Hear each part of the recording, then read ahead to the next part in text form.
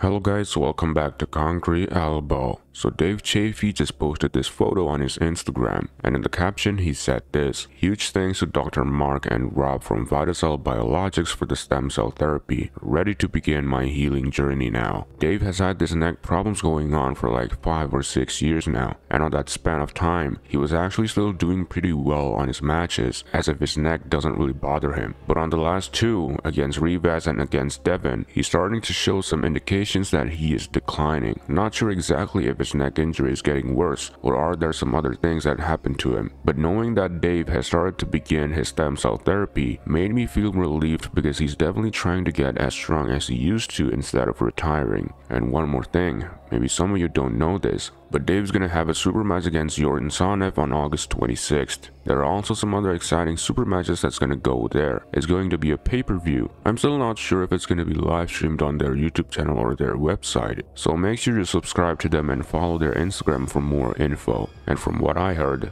this is gonna be Dave's last super match for this year.